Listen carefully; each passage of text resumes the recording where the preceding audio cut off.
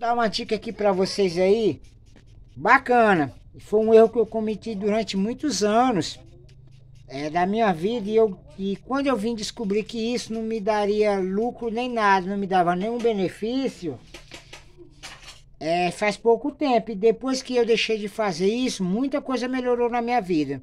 Uma coisa que eu digo para qualquer você, todos nós temos o direito de expor a opinião da gente e tal. Mas às vezes a gente expõe a opinião da gente que ela não vai servir para nada. Tipo, na minha cidade mesmo, eu criticava muito a questão de vereador. Ah, que vereador não trabalha e tal. Então, de uma certa forma, muita gente se afastou de mim pelo fato de eu dizer aquela que eu achava que era uma grande verdade. Sendo que na maioria dos casos, era o povo que se vendia na VESP e tal, e eles não tinham obrigação de trabalhar, né? E eu, e eu é, cobrava muito isso, internet pro povo. Então, não compra briga do a qual você não vai resolver ou não vai ajudar. Que às vezes você faz um vídeo cobrando uma coisa para uma cidade. Só que aqui todo mundo vai lá, te parabeniza e tal, aquela coisa tudo. Mas nenhum tem a atitude que tu tem. De fazer um vídeo também, cobrar e tal, tal. É só um. No meio de 100 não vai resolver. Entende como é que é? E você não vai chegar a lugar nenhum defamando os outros. Mesmo que aquela pessoa esteja errada, tu tá entendendo? Então eu tô dando um toque aí pra muita gente, que eu vejo ainda muita gente, eu não fico em grupo de WhatsApp, mas às vezes as pessoas mandam áudio de WhatsApp.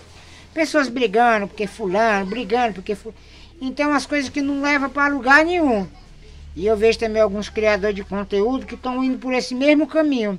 Porque se você, por exemplo, se você é um digital influencer, um humorista, aí você faz um vídeo queimando o prefeito de uma cidade, falando a tua verdade. Dificilmente tu vai fazer um show naquela cidade, que ele não vai aceitar, sendo na gestão dele do mandato. Isso serve para um músico, isso serve para um cantor, isso serve para tudo. A pessoa, um cantor, pega um microfone e acaba com a cidade. Rapaz, essa cidade aqui me tratou mal, tal, aquela coisa toda e blá, blá, blá, blá, blá. Dificilmente ele vai tocar naquela cidade. Tu não vê um artista às vai pra uma cidade aí queima aquela cidade. Ah, que é meio que um inferno, né? Que não sei o que, o povo. Então eu só tô dando uma dica, entendeu? Que eu tô vendo muita gente aí queimando outro digital, queimando outra coisa, queimando isso aí, isso aí não vai te levar para lugar nenhum, não, pode ter certeza. Você não, tá, não, não deve puxar o saco de ninguém, entendeu?